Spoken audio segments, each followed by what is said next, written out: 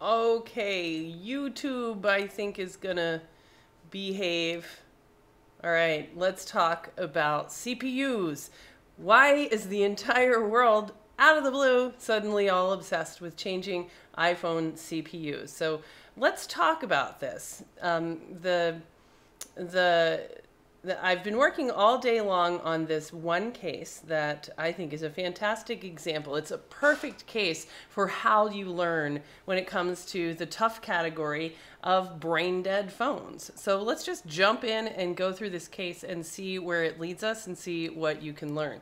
Um, and I think what you're gonna what you're gonna conclude is how important it is to learn more than just this what this one case it's going to take us down one line. Well there's many of these and so we really need to connect with folks that know a lot of researched every one and zero in the phone and that's sort of what what leads me to say hey we got to team up with china and that's why we're doing the, the master class. So i'm obsessively talking about master class because i'm so excited about it and i think that you're going to be as well after we go through this case. So let's go ahead and jump in. This is an iphone 6 plus. This is an iphone 6 plus with relatively minor liquid damage and let me show you what i mean by that. Like this is you know, pretty pretty non-remarkable. I thought that it was going to just be an easy, easy case when I first saw it. Um, it has, you know, no water, no water, you know, no water in a lot of these hot spots.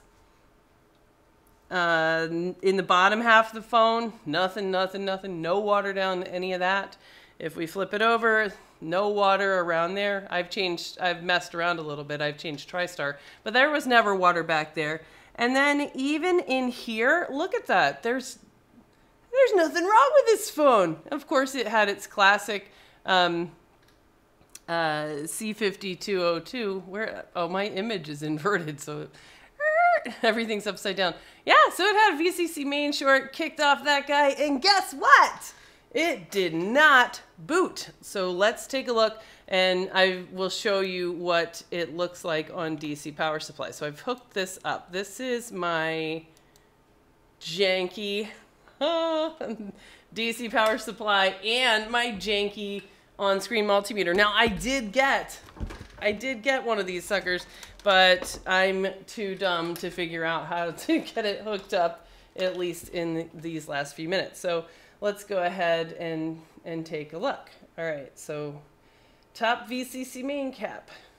Not it. It did have a main short, and after kicking off that cap, that main short did go away. And now, let's go ahead and boot this up with DC power supply. So I'm going to connect DC power, and I know that's blinking, but you can see that we've got 4 volts and zero current consumption before prompt to boot.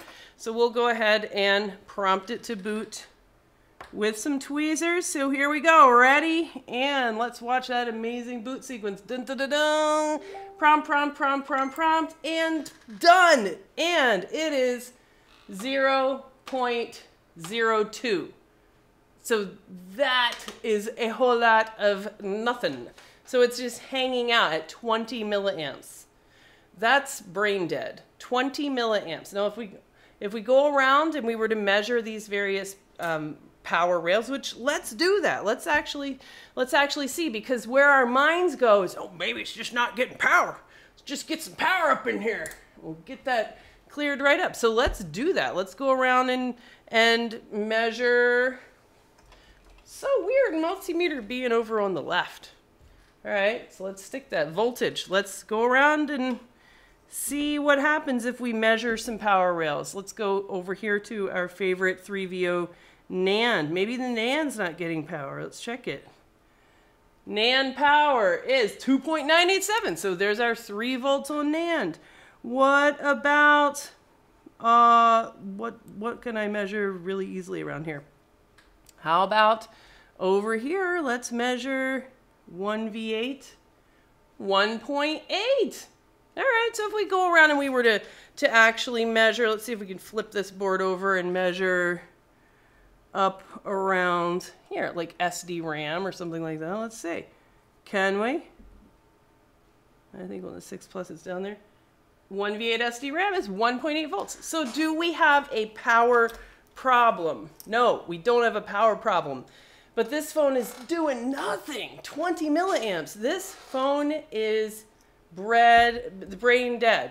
Yeah, I need to, to, I, I did click my, I flipped one of my other images, uh, one of them, I don't know, and I think I was probably clicking on the wrong one, so I probably flipped everything. All right, so this is the, this is like the Australian style stream. You know, everything's all reversed. Should be like, you should be so right at home, right? Ben Nash? Okay, so this is a brain dead phone that does not have a power problem. So now we can understand why would this phone be like this? Why would this phone do practically nothing when we ask it to prompt a boot? However, it's sending voltage to power on all the chips. They're just not doing anything. And the answer is because this phone is brain dead. It's in a coma.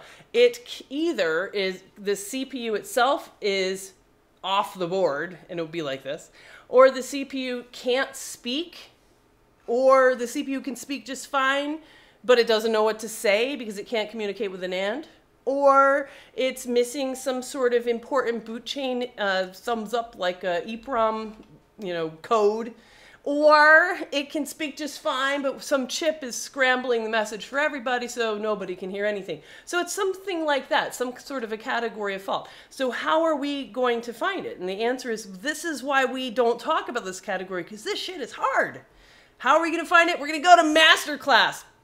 And masterclass will teach us all of these things like the the sequence of events and how we can measure how we can use an oscilloscope to really dissect these sort of brain dead problems. This one in particular though is a classic. It's a classic for the iPhone 6 Plus, it's a classic for the 6, and it's a classic for a lot of these earlier phones. And I even talked about it, I think, two streams ago. So this one really is a hot one. The other phone that I have over there from two days ago was the exact same problem. Mark and I both were working on this exact same problem the last time we were together. So what is this problem?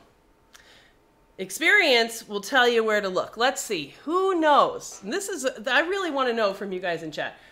Um, who knows what this uh, problem is? Oh, these are this is inverted for you guys. While I flip this around, I want for you guys to tell me a 20 milliamp phone that has minor, but not not none, so liquid damage, but minor. How do we get a 20 milliamp phone? How is this phone brain dead? You tell me while I transform this. Let's do flip horizontal. Was that better for you guys? Did that even, was that even the right one? Let's find out. Let's get that side cam. There we go. And flip. There we go. Is that better? All right, so here I'll show you guys. Maybe that's a little bit better so that you can see this is a 20 milliamp phone. I've got to vote for it's in DFU mode. That's a really, really good idea. I love that thinking because it would be reasonable. It's not in DFU mode. Great guess. If it was in DFU mode, and you should know, what, what does it look like? It would be about 70 milliamps, 70 to 100 milliamps. So 20 is super low. It's even lower than a phone that's in DFU mode. So this is, this is before that.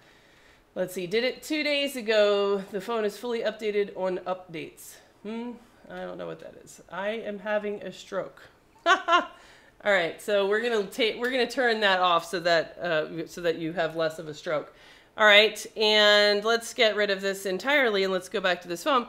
And let's see, did anybody come up with it? Somebody's asked, said, how about battery data? So let's just think, at what point would battery data, let's just guess, when does battery data, cycle count, temperature, when does battery data come into play during the, the chain of events, if we're just guessing, of the boot sequence? Would it be like very first or, or down the road? And we, and we can guess because we know what happens if we intentionally interfere with that line, don't we? We know that we can knock off one of those 5S gas gauge filters and see what happens. And the answer is the phone still boots. After about three minutes, it'll click off. So we'll put battery data as unlikely to make a phone just be super brain dead. This is something about CPU. This is going to be very, very brainstem. Brain is a CPU. This is going to be, this phone has a dead CPU. And that's why this is a big deal because we need to learn how to recognize dead CPU. Is this, why is this phone have a dead CPU? How did that possibly happen to this phone? And, and that's a big deal because as we start doing all the CPU swaps, we really have to kind of understand what the heck is going on with the CPU level. Let's see. Uh, let's see. Uh, I have no clue. 20 milliamp, very minor short on board. No.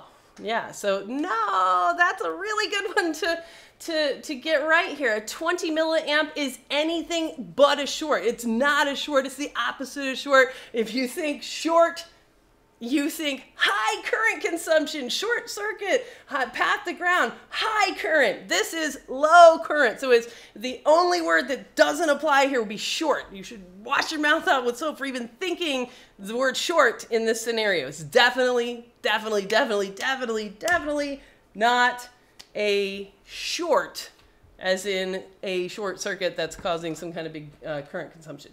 All right, does the CPU have caps? Uh, again, how do caps fail? Caps make shorts. Is this a short? No, this is definitely, definitely not a short. All right, so we're gonna have to, um, I, I want you guys to, to understand something here. There's a ton of people out there doing board repair now. And it's in these forums, it's the same advice, the same problems again and again and again. Not a lot of people out there are using your brain. Not, not a lot of people are experimenting and thinking. It's just this kind of recognize common problem and apply common problem, which there's nothing wrong with that. That's fine. But you, you really, I think, have a bit of a responsibility to the industry to be doing experiments and helping to further our understanding of this stuff because uh, we, we, you know, this is a really common problem that I haven't done a lot of videos on and and it, it doesn't sound like there's a lot of folks out here that are recognizing it. That, I think, is the biggest problem. All right, so let's talk about it. I'm going to show you guys the worst physical damage on this entire uh, board. So let's see if we look around. We had very minor damage, but we had a little bit of corrosion, you know, kind of around here. You know, one little cap on backlight anode was was missing um, you know, or just really damaged. Just a little spot there. And of course, uh, on the opposite side, we had our, our VCC main cap. But then if we looked hard, and I was looking for this uh, particular problem, and I think what I'm going to do is I'm going to I'm going to go to the schematic. So let's go to the schematic and let's talk about, I think I'm going to do this a little bit differently. Let's talk about this line here. All right, so today's lesson, reset, reset, reset, 1V8 when low. So you guys know when you look at a chip that enable is really important data component to the chip, right? All chips have some kind of power in, all chips have some kind of an output, and all chips have some kind of enable and then the other thing that's a real deal breaker is this reset. So all chips have some kind of a reset, which you can think of reset just like your old Atari. Did you guys have an Atari? I had an Atari. It had power on, and then when you wanted to start your game over, you hit reset. So reset is really important because that will take out the entire function of a chip if reset isn't working. For example, Let's think about iPhone 6 Plus touch disease. What line is the problem in touch disease? Answer, oh, it's whatever's M1. Yes, M1, scan, reset. So resets and enables are the ones that should jump out at us when we're exploring a, a, a chip. All right, means it's the problem of CPU. All right, so uh, let's explore this. Reset, 1v8 when low. Let's just explore this one a little bit. And how did we get here? We got here from experience, um, but this case here is the exact kind of case that would give us the experience that we would need. All right, so let's, uh, let's learn this line a little bit and then we can back up a step. All right, so reset goes to chestnut. Here's reset is plugging into this chip. Who is this? Let's see. It looks like a big data handling chip. Reset is plugging in at some kind of enable pin on this sucker. And who is this? This is our buddy. This is our buddy TriStar. All right, so this same reset line goes to Chestnut and it goes to TriStar. Now TriStar is important because we know we need TriStar for booting. What else? Reset has a test point, so that's important to know. And it says CPU and baseband reset. So reset goes to a test point. And then here we are, reset 1V8 when low. So it means that pushing it to ground is the signal. Otherwise, it's 1V8. So 1V8 is the normal day-to-day -day value of this line, and the signal is ding, sucking that 1V8 and putting it to ground. So this, let's look at this. Reset goes here into this chip, U0201 Fiji. That is the CPU. All right, so this is the CPU, and now we have reset uh, plugging in here at the CPU. So let's see, what does that mean? Let's look at this little scenario right here where we have PP1V8. That is a top power line. PP1V8 looks like it's a power line. And we can guess that PP1V8 has 1.8 volts on it. And if we follow that around, it's the brain stem of the phone. It's a power line. It's going to go to lots of places. And PP1V8 is always the top line of many of the data lines that are in the phone. So we can see that this reset line is a data line. It's either a 1, 1.8 volts, or a 0, 0 volts. So it's either a 1 or a 0. And now we can see that PP1V8 and reset are connected by a resistor. Now let's think about how this might work. Let's just take a guess. What if we took that resistor off and we made a wire there? If that was a wire instead of a resistor, what would the voltage be down here on reset 1V8? Well, if it was a wire, it would be the same as up here. It would be 1.8 volts all the time. And when the CPU itself wanted to pull that line down, which would make a zero, and that would reset Chestnut, reset TriStar, the CPU would just take that line, touch it to ground. Now, if this resistor was a wire, that would mean that we'd be turning off the lights on the whole house every time the CPU pulled that reset line down. So instead of a wire, this resistor here, R0206, a 100 kilo ohm resistor. That resistor is there. Now let's think about the resistor as it's kind of like a wire. It can, with, you know, if you have enough voltage, you can push through a resistor and have the voltage show up on the other side. So let's just think, all right, if we put a resistor there instead, then that will allow us to be able to manipulate or send to ground the 1.8 over on this side without bothering all of 1V8 up top. Okay, so let's let's come back to this spot here. This is going to be important as we go. All right, so now we have reset 1v8 when low goes to CPU. And here it is at CPU again, CPU. Here it is going to power management chip. And it goes to Chestnut and TriStar. So that's a lot of spots. Now, let's do an experiment. Let's do an experiment where let's see what could we do if we wanted to explore.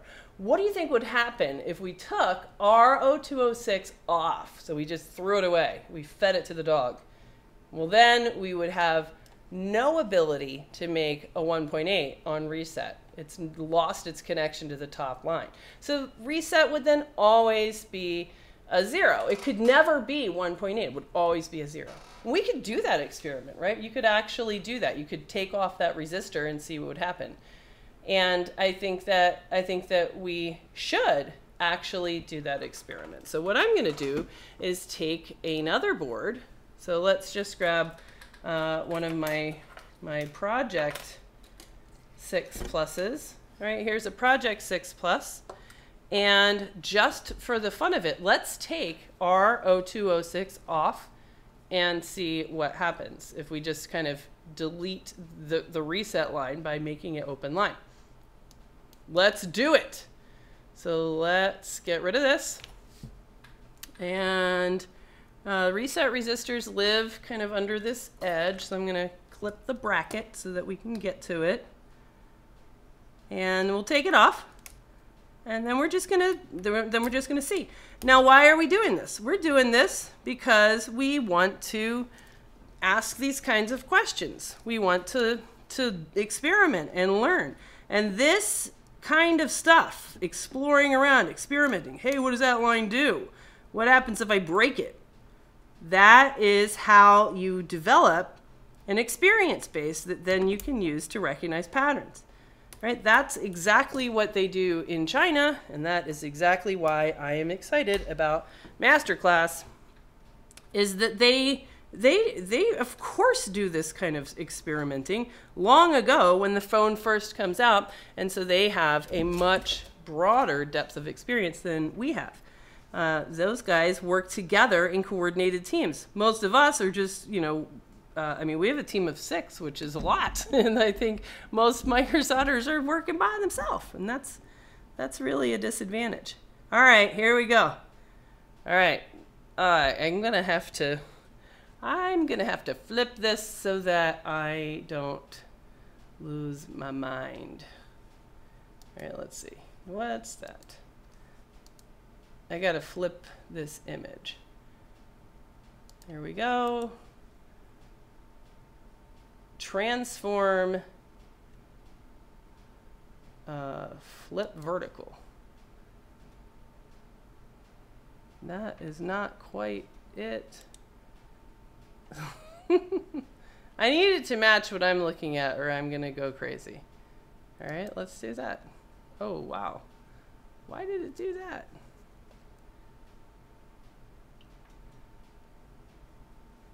Oh, I see it. Flip that whole thing. That's not good. Transform.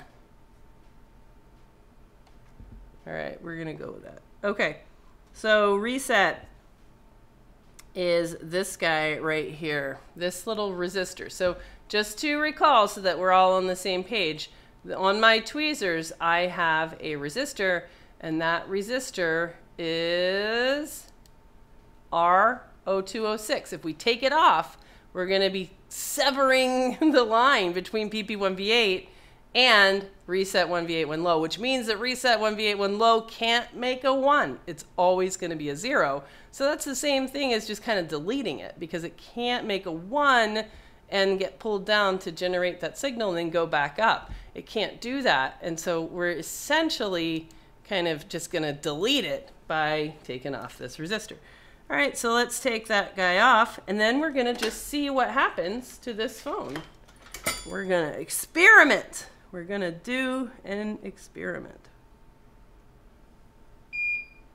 All right, so I'm going to save him and just stick him there. All right, so now we have deleted it, and that's easy to do. Like, that's not, um, oh, I, you know, I can't do all these experiments. It takes forever. Not really, right? It really doesn't. So let's go ahead and put back on DC power supply. And we're going to give everybody a stroke. All right, so let's see what happens. I will watch along with you. All right, plug it in. And now, this is my good phone. This is not the one that has the problem. This is one of my project phones that does boot up and should be just fine. So now let's see what happens. Oh my God, look at that. What a shocker. So this now is a, we took a working phone and turned it into a 20 milliamp phone. So what did we learn? What did we learn? What happens if your CPU reset line is not working? You take a working phone and you turn it into a 20 milliamp phone.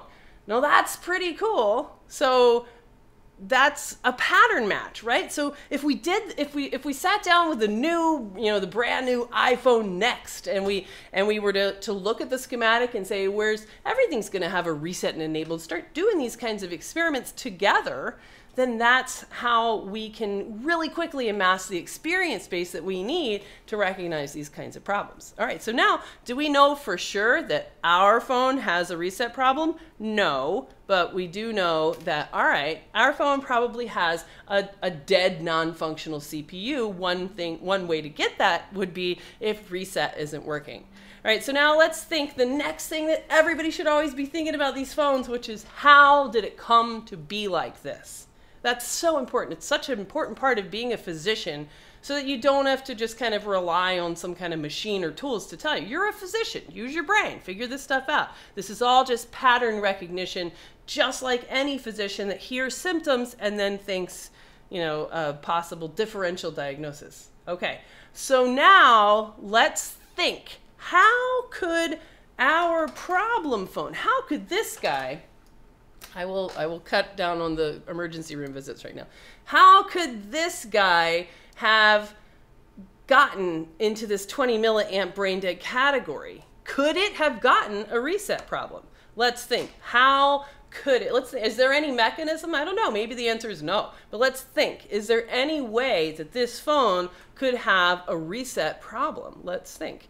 Uh, let's see. Who remembers where does reset go? It goes to the CPU. So we maybe this phone has a reset problem and that problem is within the CPU. Maybe it has a reset problem if that resistor was knocked off. Ooh, let's look to see. Is that R0206 knocked off on our phone? That could be a way. Let's check. Let's check. Where is it on our phone? And it is present. It's this guy. It's this guy right here. All right. That this guy. Ah. Man, that's so mind-boggling hard to do upside down. There, it's that guy. So he looks good. That flux there is all stuff that that I did. I'm showing you this case after I've already uh, recovered it because I don't want to take risks on the actual live board today. This was really tough. And let's think, what else could it be then? Reset. It's not that that resistor is missing. So what else could it be? Let's think. Um, where else does reset go? PMIC? Could be, but there's no. How would it get to be like that? Hmm, there was never any water there under the PMIC because it's all dry in that area. What about chestnut? So let's think. Chestnut. Now, chestnut has that same line. Reset 1V8 when low goes to chestnut on C2. So it goes to chestnut should we put our eyes on chestnut? Because chestnut tends to get water damage. It doesn't have underfill and it's out at the edge of the phone. It's really easy for water to just go under there. So let's do that. Let's take a look at chestnut on this phone. And guess what? I have already taken chestnut off the board and I have actually replaced it, but I saved it right here. I saved the chestnut. So even though this phone let's look at the chestnut area. Right, even though this phone, as we looked, does it look like it has water damage around here? No. I mean, there's some flux from me being here, but look for oxidation, like actual water damage. No, it does. It really doesn't look like it had any water there. However, there, there, um, you know, was you know a little bit of water kind of up in this top bit of the phone, so it's worth a shot. Just because water tends to go under chestnut. So I took off chestnut and I saved it because this is what it looked like on this. This is this phone's chestnut. Look at that. I never expected it would be that corroded under chestnut when it looked really nice around it. But there you go. All right, so here is chestnut and now here's something that I like to do when I see a phone that, that has pretty minor water damage, but then I see a chip that looks like a total, you know, baby diaper underneath. Let's really think about this. Is there anything that we can learn by looking at the pattern of corrosion? I've got an idea. Why don't we look up which one of those little balls is the reset line? And let's just see, is it, is it one of the ones that's really corroded?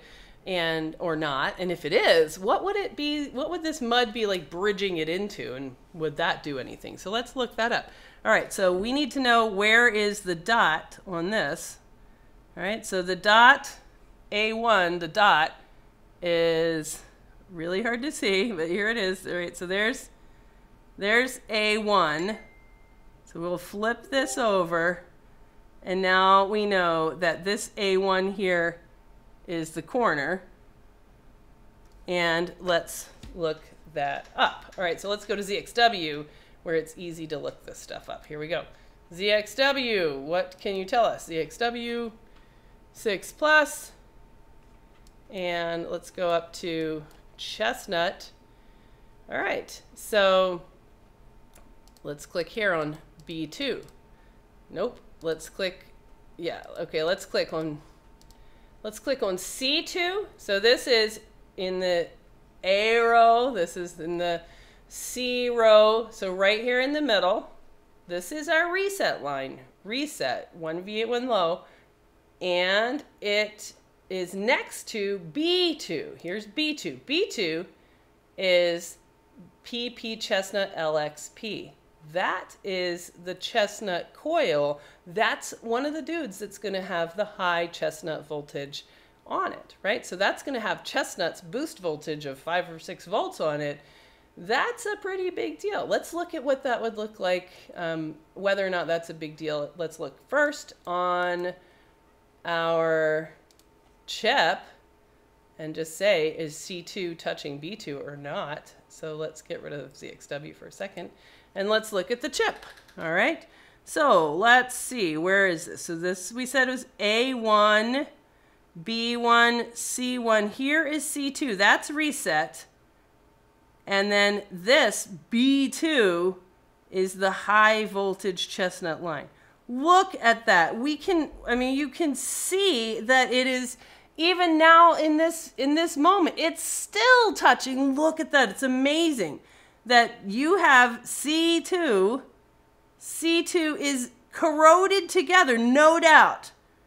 It is a wire to B2. See that?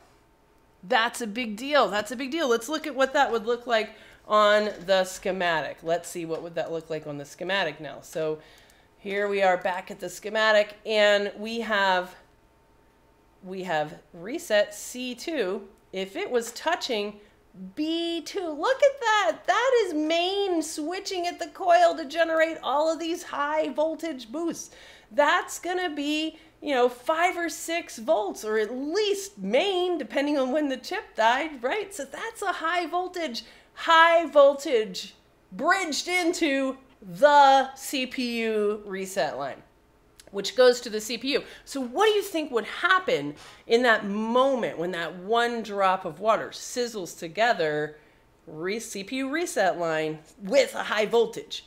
Isn't that the same thing as just injecting five or six volts into the reset line into the CPU?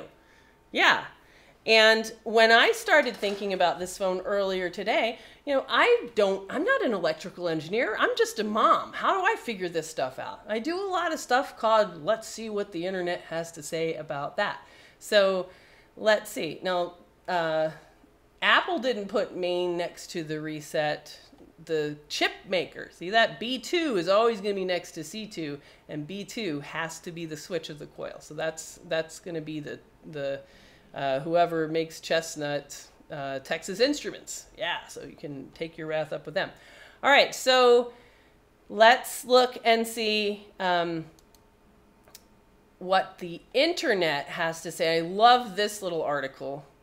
I love masterclass. Uh, don't don't get me wrong, and I will be saying masterclass, and I will be expecting everybody to pony up, show up. It's going to be super fun. And this is where you learn the kind of stuff that we're talking about today, which I think is super, super important. I figure out a little bit of it randomly, but China knows all of it. And I can't wait to hear them just walk us through all of this stuff. It's going to be amazing. All right. So that's uh, that's not the article I want to call your attention to. I looked up this when I was I was just looking up uh, what what would be the consequence? Like, what does reset lines do for microcontrollers, and what how do they fail, and things like that. And I love this article called "10 Ways to Destroy an Arduino." All right, and so here we go. This one, method number one: if you short an I/O pin to ground, short an I/O pin to ground that sounds a lot like what is, you know, kind of similar to what's going on here, right? We're talking about if we short an reset line to a high voltage line. Hmm, so that sounds like, okay, you can kill an Arduino by just touching an IO pin to ground, right? And then shorting IO pins to each other, that's like even closer to what we're talking about, which is taking a high voltage pin and shorting it to the reset line. Up Oh my God, this is totally it. Method number, if you apply over voltage to an IO pin, like the reset line. So if you apply over voltage, if you apply five volts to a reset line, then what happens? If you apply a voltage exceeding 5.5 volts to any IO pin, the IO pin is destroyed. The IO pin is destroyed. So that's so now we've got a mechanism that water or mud that we can see under chestnut that we know for sure bridged a high voltage line into the reset line now we have a mechanism of what would then happen well apparently you're going to destroy or injure the the other end of that and the other end of that is the cpu and tristar right so now we have uh, a mechanism, we're starting to think, oh, this is bad news that our CPU is damaged or dead, even because we can tell exactly what happened to it. All right, so that's you know that's really bad news. And one of the points that I want to make with this is that uh, you know the the idea of why is the whole world changing CPUs it, all of a sudden? In the last couple of weeks just just nothing but brag post brag post brag posts about people with their their cpu work. Why is that happening now? And the answer is because this phone a 20 milliamp iphone 6 plus you would think that's brain dead. Maybe it's a cpu let's take the cpu off and put it on another board and do a big board swap that doesn't help you solve this problem, right? Because we have a mechanism. The mechanism is water under chestnut sizzles that spot on the CPU. It damages the internal structure of the CPU on the reset line. So if I lift that chip off and stick it on another board, that doesn't help me.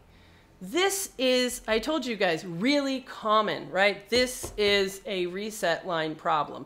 The, if you look back on my channel, the last time I was doing CP, the CPU swap uh, uh, video that I did most recently was the exact same case, a reset line problem. And there are people that are out there, and you can see them on forum posts. Go, go Google reset problems, and you'll find that for years, a handful of people all you know they they know to look for reset all of the time.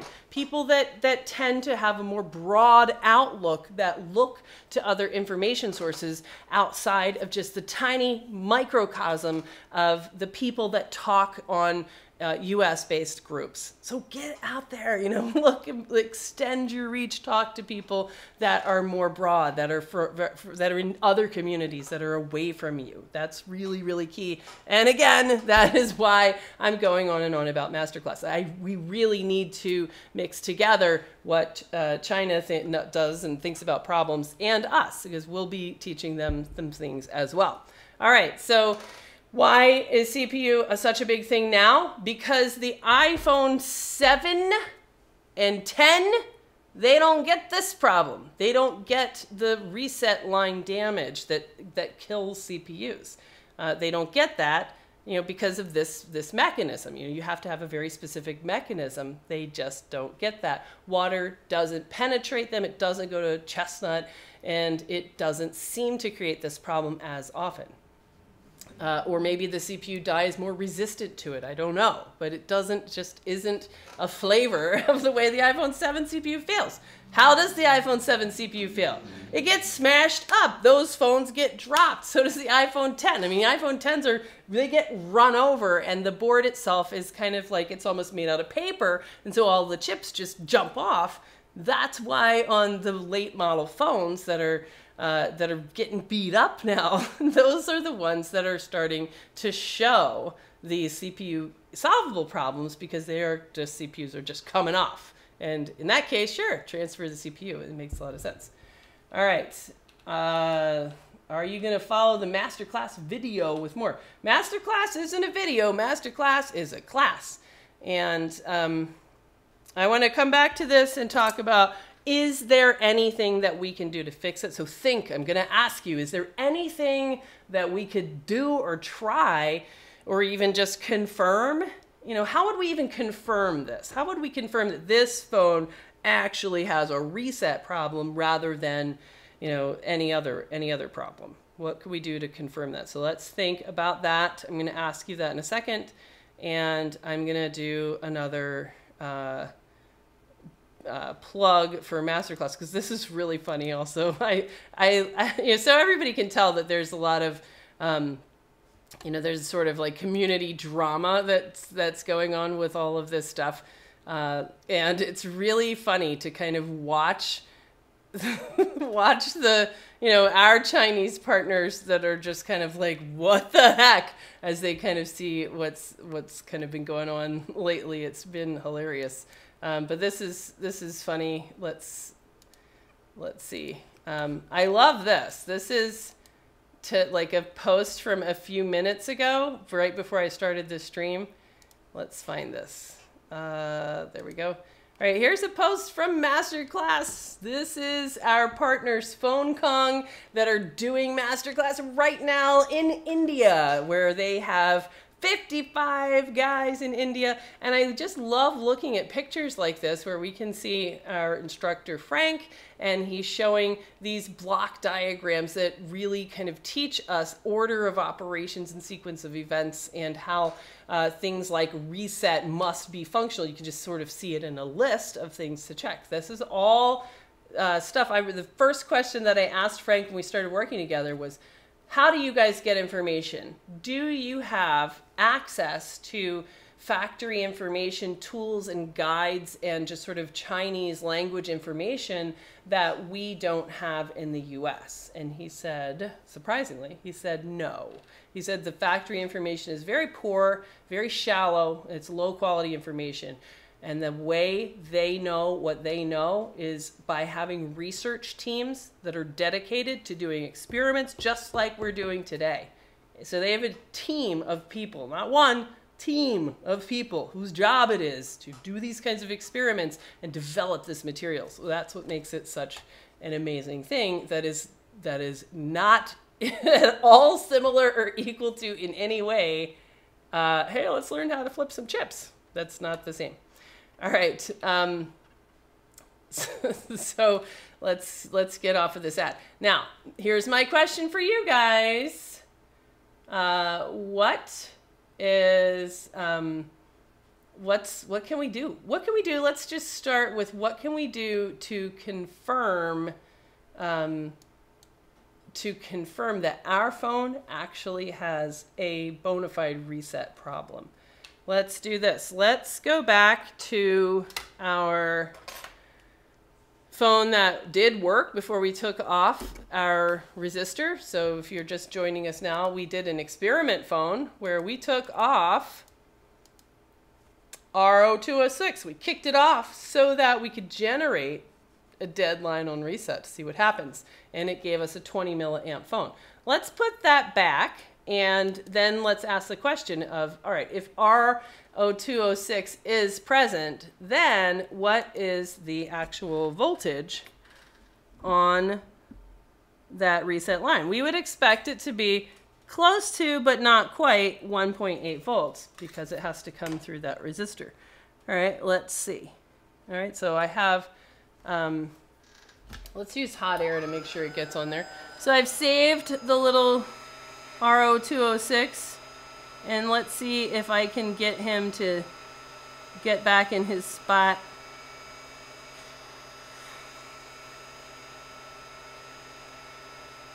Sit down there, bro.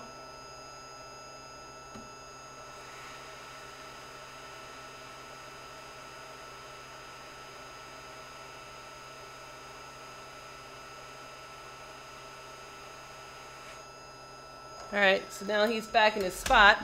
So now we can do an experiment and let's do a voltage test. So we're gonna come back to our DIY multimeter.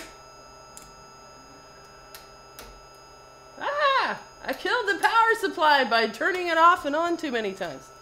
All right, let's make it so that you guys can see the multimeter. All right, let's fire this phone up.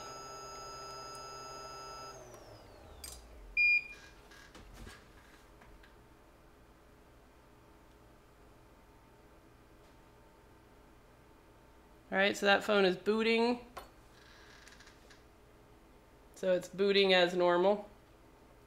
And now let's, while it's booting up, let's go ahead and do a multimeter voltage test on, God damn it, the DIY. I'm gonna go back to the trust-based multimeter after this. This is ridiculous, I can't handle it. I can't handle it. All right, making a mess. Okay, so let's see. What is the voltage supposed to be on 1V8 reset when low? All right, survey says. All right, top side is 1.8. this game disconnected. God damn it. All right, I got to prompt it again. Prompt, prompt. All right, it's booting. Flip it. Get that measurement quickly before something comes off again. All right, voltage test. Answer 1.719. 1.719, that is the one on the reset line. And we could kind of sit here and see, hey, at what point does it drop down to zero when the CPU actually pulls it down and resets itself. All right, so now we know that we should get a voltage of 1.71 on a healthy reset line. And if you took a whole bunch of phones and you measured them, they would all have about that 1.71, 1.72. Let's go back to our test phone, our phone that looks beautiful. And I took off that chestnut, cleaned it all out, I put a nice, fresh, healthy chestnut on there. I also replaced TriStar because why? Random? No, because of a reason. And the reason is because reset, that's what we think is the damage. Reset goes to TriStar, which would then damage TriStar. So I replaced TriStar. So I've replaced Chestnut, I've replaced TriStar, and I've cleared up any possible reset problems other than the CPU itself. So let's see. All right, so let's see what happens now if we take our phone and do the same thing. Let's make it so that, so that we can kind of see both of these. All right, here we go. All right, connected battery. Let's prompt this sucker to boot. All right, we've got our sad, sad state of affairs, our 20 milliamp phone, which we think, that tells me now, I recognize that.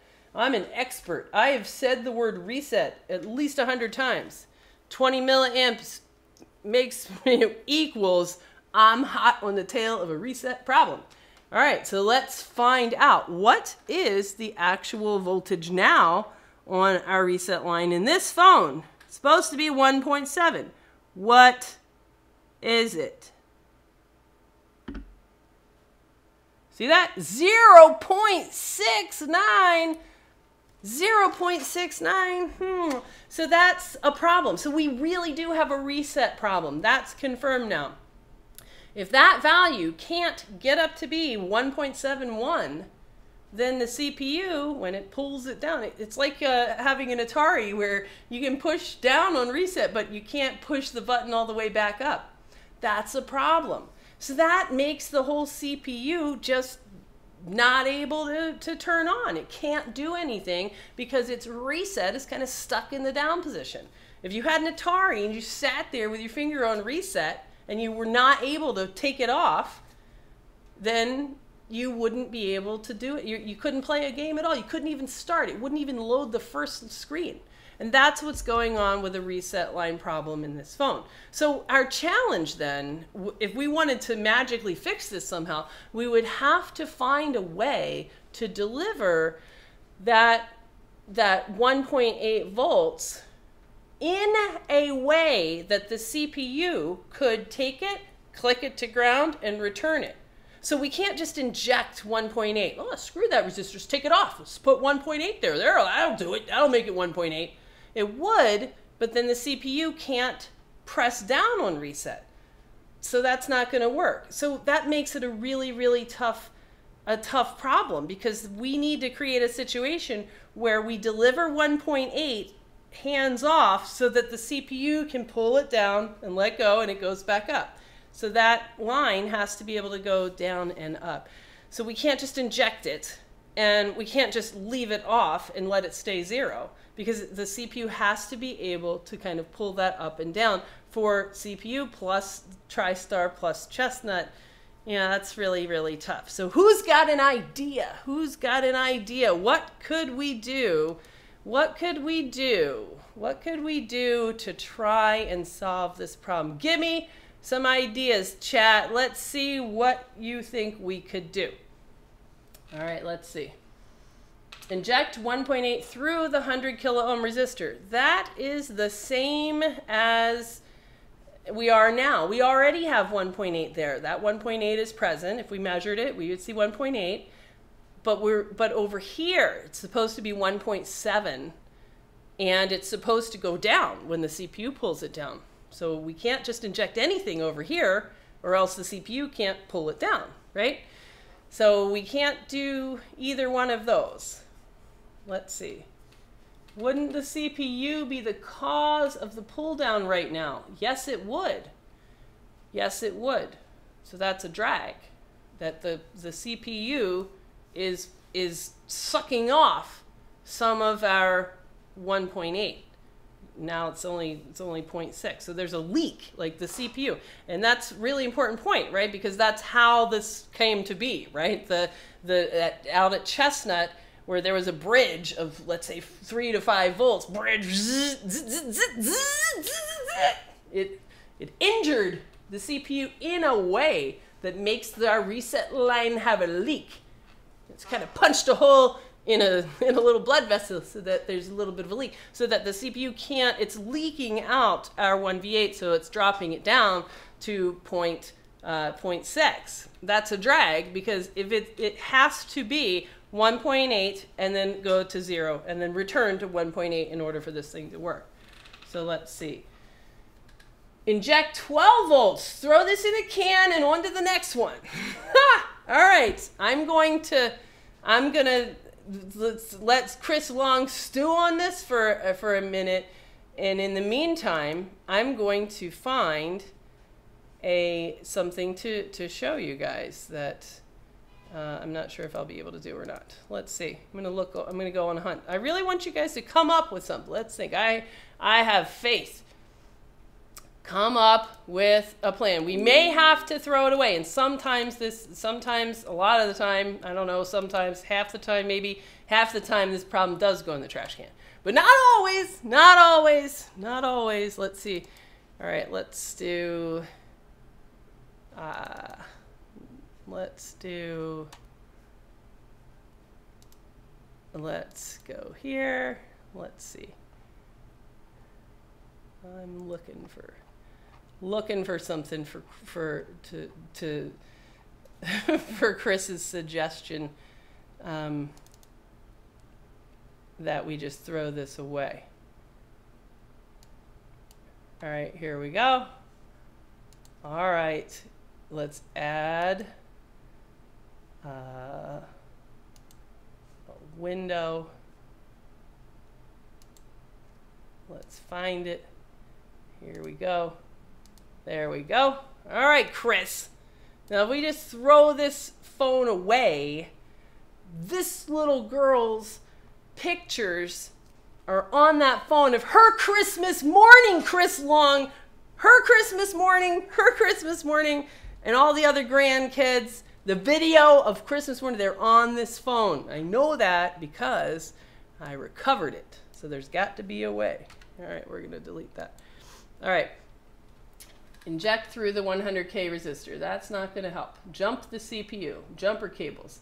I need a quick rundown. A quick rundown is that, ooh, here we go. Remove a 100K resistor from the 1V8 line and inject your own voltage until you reach 1.7 on reset. And pulse that when it should on boot. That's a that's that's a good idea, and I have tried that before, and it has not worked. And it, because I think that when you know when what you end up doing is having to go up too high, and then that that probably does more damage. You're kind of going back to the original problem, which we know that if you send three to five volts down that line, you're going to cause this injury. So um, what else can we do? Let's think. All right, so quick rundown on the problem. We have reset 1V8 when low. Reset 1V8 needs to be 1.7 volts. We can't inject it because the CPU needs to control it. The CPU has a leak because of prior water damage out at Chestnut. Chestnut had a bridge between 1V8 reset and Chestnut coil, so high voltage went from Chestnut into the CPU, causing a little bit of damage here on the reset line. CPU is completely brain dead, 20 milliamp phone until we can get this reset line to work again which is a really tough problem because we don't have a way to just inject it. So the suggestion of let's just take R0206 off and then let's just add 1.8 on that line. Well, that doesn't work because that makes it always high and that the CPU, if it pulls it down, you know, your, your injected voltage is just going to stay there. So that doesn't work. You have to make that voltage be sort of hands off so that the CPU can pull it down as needed. So Chris's next idea, which is great, which would be, could you use an oscilloscope? And you, maybe you could. Could you use an oscilloscope to figure out when does that line get reset? Is it just reset, reset, reset, or is it, you know, we, we don't know. You'd have to get out, you'd legitimately have to get out an oscilloscope to answer that question. And if it's a fast kind of, you know, resetting, reset, or resetty, re, reset McResetty face, then you're not going to be able to do that. All right, let's see. Use a scope to check out the pattern of the original boot. Yeah, separate the line from the CPU and produce our own reset. All right. Okay, so um, create your own reset. Just have to time it right. All right, that's really hard. What about this? What if you know, this is this is really funny. The last time I had this problem, I I'll, I'll, let's see if you guys can come up with it. I'll show you my my one of my reagents, one of my reagents that I used for this. So Christy, beloved Christy of iPad Rehab, Christy used to make cloth diapers professionally.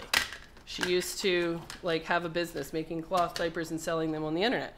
And then Christy uh, still has a whole bunch of sewing machine and sewing kind of uh, stuff. And here is something that Christy made, available for sale at iPad Rehab Supply. So let's look under the microscope so you can see uh, what I'm what I'm talking about. You guys, this was a really hilarious night the last time I was working on this problem. Um,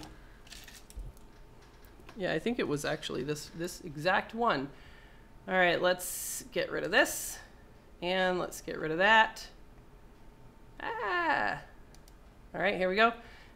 All right, so this is a bobbin of jumper wire that Christy made. And do you see how it has writing on it right there? It says it says 98. 98. What do you think that 98 means? God damn it. It doesn't look like 98 in a mirror. Yeah. What do you think that 98 is? Let's see. Rehat all the things. The cap can be bad. That is true. And guess what? I have had that happen before. So definitely check the cap. And the cap has gone bad before, which is another, which is one of those sort of like key cases, like this one, where you really learn how important this line is. This phone really can't, it has no other water damage you know, nothing, just chestnut. And now it's a reset phone. How did it happen? It was definitely that corrosion under chestnut. Is that common? Yeah, you betcha. And now, now we know for sure what happened to this phone. So now if we look back and we think about all those other 20 milliamp phones, it was probably a really common mechanism. Once you start looking for it, then you'll see it all the time. 98 wraps. That's really close. 98 turns. It's Not 98 turns. All right, it's not 98 turns. It is, I'll give you a hint let's look at the hint. I determined this number 98 using this tool. All right, 98 ohms. 98 ohms. So you guys know that a wire itself has some resistance. If it's long enough, it'll have a sizable resistance. And there is so much wire on this that it actually has just about 100 ohms of resistance. Yes. So uh, why do we, what, what the heck does this have to do with our reset problem? Let's think. What does it have to do with our reset problem? What does this have to do with our reset problem? Let's see. So are we just lowering the pull-up resistor? We're going to lower the pull-up resistor. And we're going to guess. So we're, we're not going to make a specific voltage divider. We're just going to see what happens. Like, what if you had some kind of potentiometer or something like that? Wouldn't that be cool? So what we're going to do is we're going to say, all right, what if we had, you know, 1.8 and if this resistor was less than 100 kiloohms, 100 kiloohms is a lot. What if we just made it less so that it was just sort of easier for that 1.8 to kind of like go, go through the resistor and we would end up with a little bit more on the other side. Kind of like instead of squeezing a hose where we've got the water turned on over here and here's the voltage and we are squeezing it and there's just a trickle coming out, let's squeeze it less tightly. So instead of 100 kiloohms, let's try 50 kiloohms and then we could find out what is your um, what is your actual voltage. So we so I did that. I said, what happens if we put in 10 kiloohms?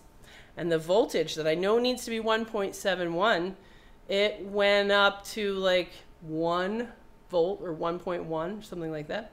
All right, what about a one kilo ohm resistor? What about a, you know, 243 ohm resistor? And that is where I left off. What resistor should we try?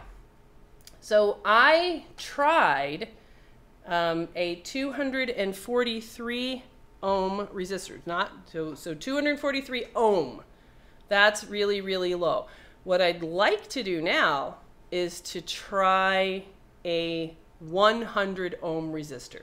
So where can I where can I get a 100 ohm resistor. It's actually kind of hard to find. So let's go on a hunt. This was, uh, this was, I think, the hardest part of this project. I think I have a feeling that there's one here in the iPhone 5. So if you just type in 100, you know, you'll find a lot of places in the iPhone 5 schematic with 100. And if you type in 100 OHM, it doesn't find it. Uh, so you end up having to type 100 space 1%, and then you can find it. So here's one right here, and this is where I've left off, so now you're all caught up to me. Um, R310 RF, so that's R310 RF is a, oh, are you guys seeing this? Yes. A 100 ohm resistor, okay? So where are you, R310 RF? All right, let's see. I've got an iPhone 5 right here and it still has a back shield on it. I got another iPhone 5 right here, and it looks like this sucker is next to a crystal. Uh, it's by that Q4 crystal, and then there's uh, two little dudes, and it's the one closest to the crystal. So let's look for that. All right, let's get rid of this as well. All right. Um, so around 100 ohm resistor, parts board. Yes. Well, what I want to do, and the, Mark and I were, were talking about how useful it would be. I would legitimately like to have a, and we're thinking about making these, you know, like a, a little kind of tiny resistor set for this exact problem. Once you once you start looking for this problem, you know everybody's got you know boards that they had no idea what was wrong with it, you know, years ago. If you go back and you look in your shit pile, you will definitely have a reset line problem.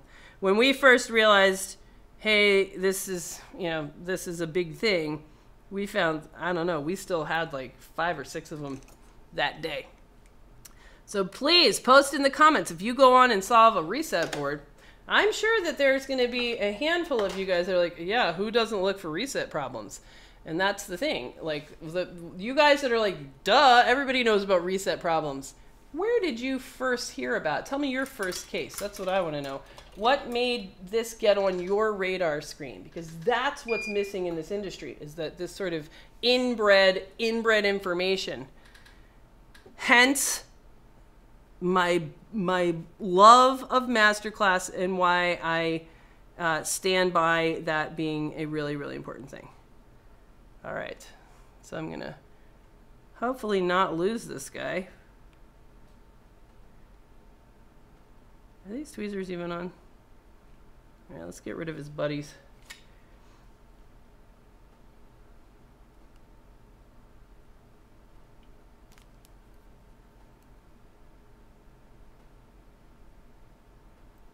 The, so China was really funny today. Oh yeah, they're not on.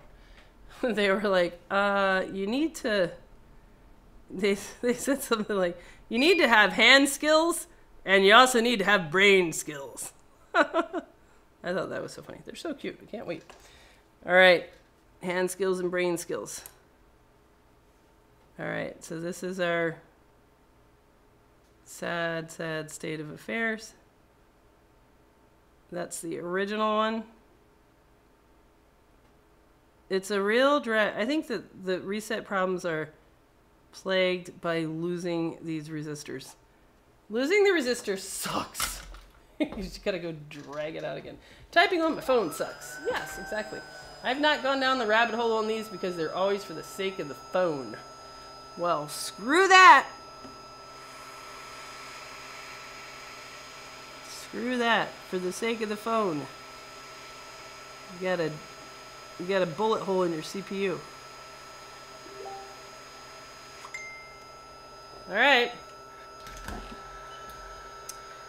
And now I really don't know what's going to happen. Every time I solve one of these problems, I will guess. And a 100, 100 ohm resistor is one of the ones that I guess a lot, but it's not always. The last resistor that I had on here was a 243 ohm resistor that I happened to find.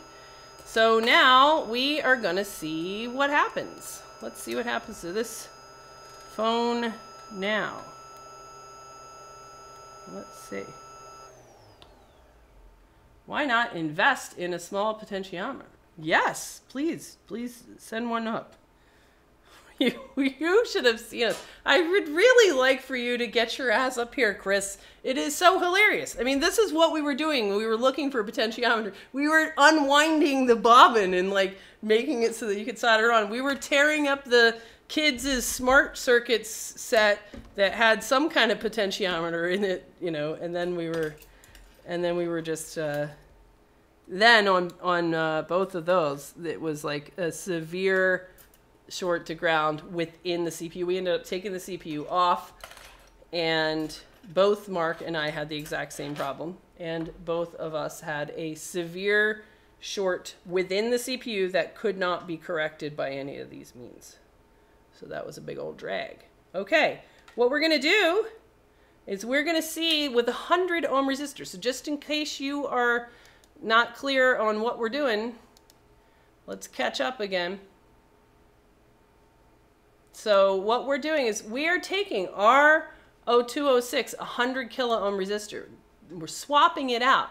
Instead of having a tight 100 kilo ohm separating the 1.8 top line, we're relaxing that with just a 100 ohm, just a little resistor, so that hopefully, even though we have a leak within the CPU, hopefully we'll be able to bleed through enough voltage that that we can still maintain a one and a zero condition that the CPU can can uh, can can chill, can hang.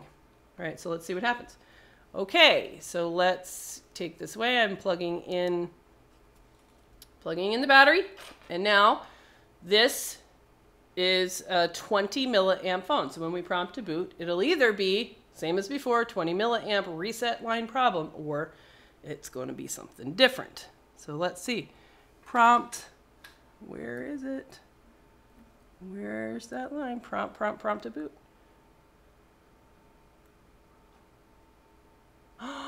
is it gonna boot? I don't know. So look at that. So that's progress. It looks like it it wants to boot. It wants to. It wants to, but I don't have any Apple logo. And it's kind of doing that. So that's sort of another pattern then. Let's see, what is the voltage? What is the voltage on this? Let's find out. So how close are we to what we need? Let's find out. All right, so let's take,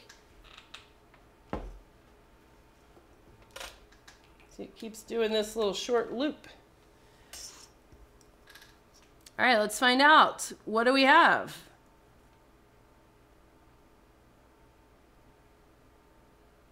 We have a resistance instead of a voltage. What do we have?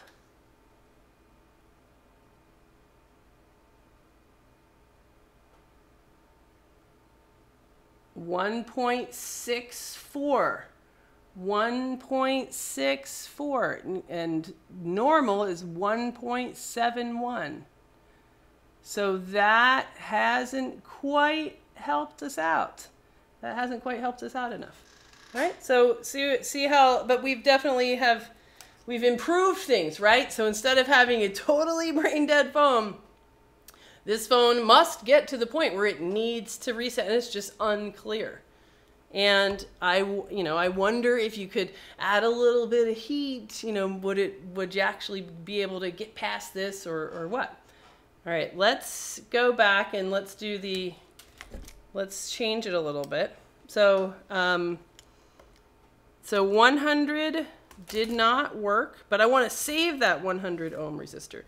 And I also want to check to make sure that I actually got the right one. So let's let's get rid get rid of this sucker. Here we go. So close. Yeah, it is, isn't it? It's so close. It's painfully close. All right, so that 100 ohm resistor, I'm to knock him back off. And I'm to go fish. So close. And now you can see why it was that we were unwinding unwinding Christie's bobbin to try to create little tiny variable size resistors. And yeah, I would definitely be into never having to do that again. All right, here's my 100 ohm resistor. All right, now here's the challenge. Let me see, can I still get back? Is it still gonna be on the tape? Yeah, there he is, my little bro. Hey, little buddy. All right, this was my 243 ohm resistor. Now, if we're at 1.6, you would think, well, I should go lower. I should go lower than 100 ohms. I would think that as well. But I had this guy, this resistor on here earlier, and it actually seemed to do better. So I'm going to put him back on. Now these guys are so small, you know, it's really, it is entirely possible, you know, that I may have damaged the one that was the 100 ohm resistor. Alright, let's see if I can get it on there without blowing him away. Because if I do blow this guy away, I'm going to be sad. Because I don't really remember where I got him from. Don't run away, little bro.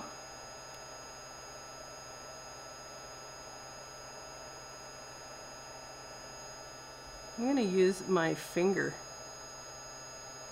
because I dare not look away. Come on. Get off. I really need to add some flux or else it's not going to work out here. I really need some flux. No! Don't get stuck in my fingernail. No! Yeah. Yay! Oh, all right.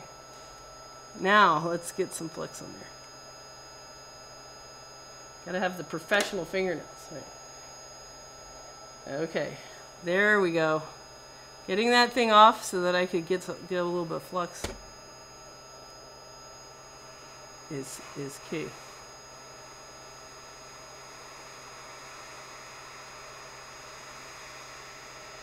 All right, sit down, bro.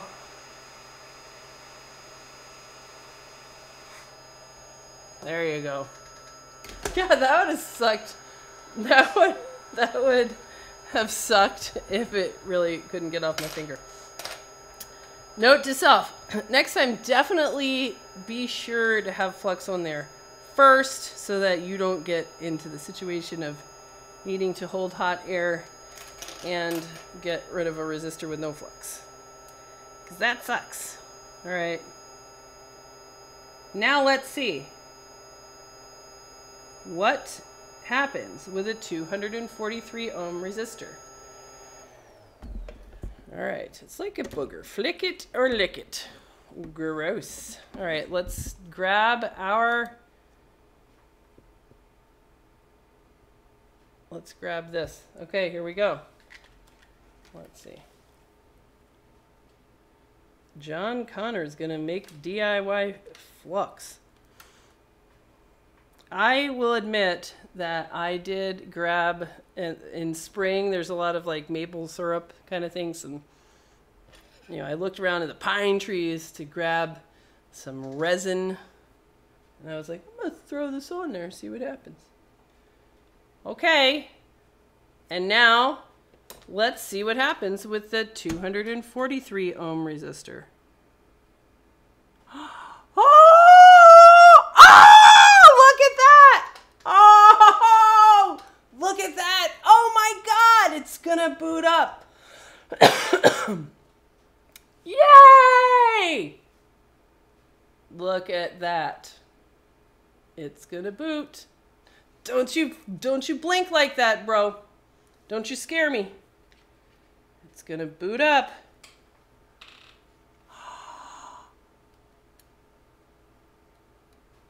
It's gonna boot up. Let's see if iTunes will detect it and let's let it lay back down. All right, there you go. That's pretty cool though, isn't it? Look at that. This is still the same reset injured within the CPU. This one has a, you know, serious beating that's gone on inside the CPU. And it is now, you know, it doesn't, it really doesn't like it, but it is going to, uh, gonna boot up. And I know this because that's how I got the pictures uh, off of it already with that exact resistor.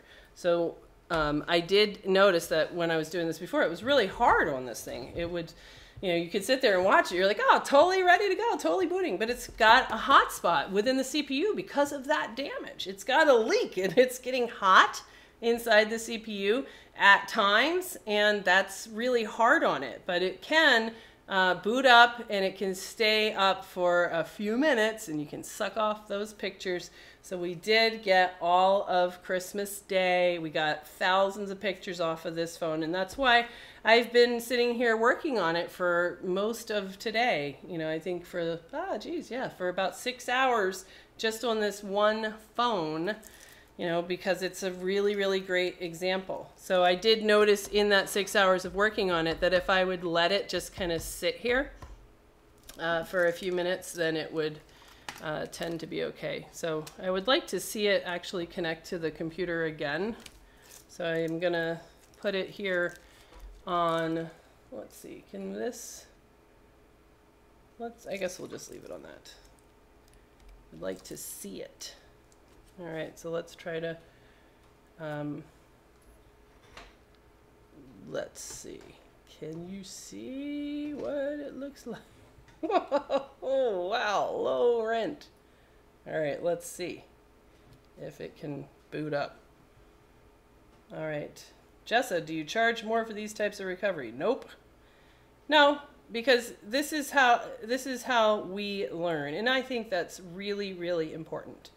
Um, so I don't pay them to let me learn on their phone. You know, this is a really, this case was so important because it had such a minor, you know, the damage to it was really, really, really minor. So it was really no question that exactly what happened to this phone. there it is! Yes, there it is. It has booted. There we go. Focus, you piece of crap. God damn it. all right, so there, there we go. So we were able to get all of the pictures on this, and then I went ahead and um, and I uh, put it back. I put the original resistor back on there so that you can you can see. Um, so yeah, it is a it's a tough issue to to solve for sure. But I like this because it's really a great example of um, you know using your brain and how important it is. If if you had sat down on day one and said, "Let me take off enables for various chips. Let me uh, sit, do an experiment on." things like whatever I2C lines and whatever enables and whatever re resets that are around the phone so that I can kind of have an understanding of order of operations of things, you can work all of this out. You know, you absolutely can. We can see that the reset line is really important very, very early on. If you, you know, combine that with some basic knowledge of, of, uh, of how chips work and how circuits work, then you can map out this entire sequence of events. In that case, it's really, really straightforward and it doesn't take six hours because you know exactly what to do. You know, all right, this is a 20 milliamp phone. I'm going to look for a reset problem. Now, it doesn't have to be a reset problem, but you know, it's uh, really, really common. And so, why is the whole world swapping CPUs now and they weren't earlier? Because Every phone fails in signature ways. And if you have what we would all consider just a brain dead iPhone 6 or 6 Plus, it's going to be really likely that it got that way because of exactly this case water going under chestnut or electrical damage to TriStar. Both of those are on the reset line and then that damaging this you know kind of zizzling up the reset line and hurting the inside of the CPU. So that is really, really, really, really uh, an important mechanism. So none of those actually need CPU transfer. That's silly. That doesn't apply. It doesn't make any sense. Fast forward to today. Today, everybody's iPhone 7 is getting kind of old. Look at audio IC problems. It is a heyday for audio IC problems. And that's all bendy, bendy flexion. You know, what else is a big chip? The CPU. So now iPhone 7s, they are getting jumped on the bed enough times that the bed's starting to get saggy and break. Today is the day that iPhone 7s are going to all need CPU swaps when they come up as a brain dead phone. So always be thinking, how did it come to be like this?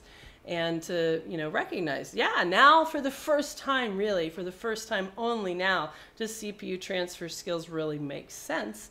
Because in the past, it sure doesn't when you're dealing with these kind of common reset problems. All right, so there you go. Um, why did a higher ohm resistor work when the lower ohm was 1.6? Um, I measured this one and it's 1.5. So I'm going to guess, and I'm su that surprises me. That's the thing that I learned on this one. And right after this stream, I'm going to go back to the last case that I thought that, um, that was very like this. This is the first time I saw that same 100 ohm, 100 ohm loop. I've seen that before, and it was the last time I tried a 100 ohm resistor. In the past, a 100 ohm resistor has solved this two or three times. That's the common solution. Uh, so now that I see a case where, and I thought if you go lower than 100 ohms, you, can, you know, that's silly. You can't, you can't, so there is no solution. So that one over there is in my no fix pile. So right after this, I'm going to head over there and I'm going to try, um, you know, just kind of going up to that 243. I'm going to take it right off of this phone and see if I can bring back that phone that's, uh, that's dead. So uh, if you have experience with reset line faults, then tell us all about it. And if you have some other fault that you're like, man, I see this all the time. Why does no one ever talk about this? Especially if you're somewhere out in the world that doesn't communicate with the same inbred group of people that all tend to kind of know the same stuff and nobody's really adding to that very often anymore, then tell us in the comments what's going on with that. Sorry, I fixed tractors, not phones.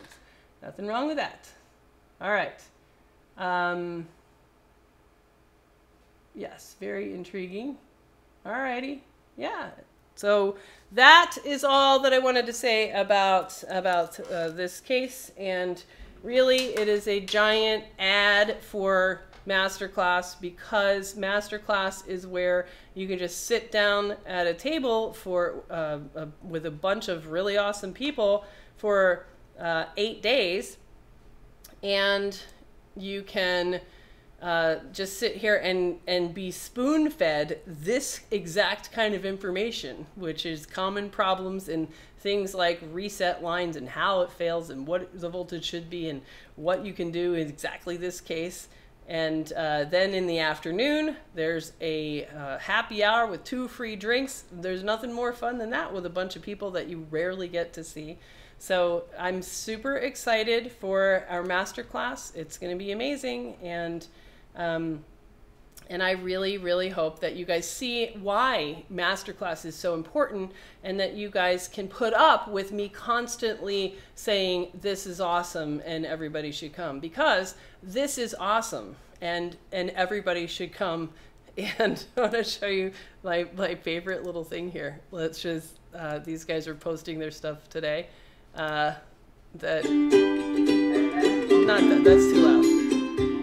It was his little description where he said everybody needs brain skills. So fun, yeah. All right, so that's it. I will see you guys next time.